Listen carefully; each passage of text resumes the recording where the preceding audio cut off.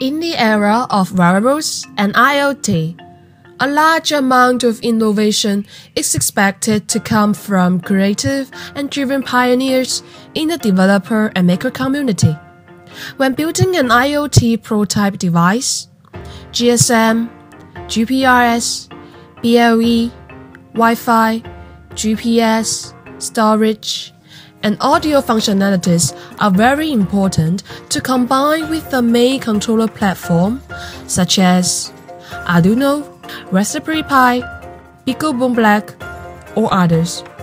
Stop now, there is an amazing board which integrates all-in-one features. LinkIt ONE, making the wearables and Internet of Things technology accessible as a bridge a bridge between traditional industrial components and new connected IoT objects.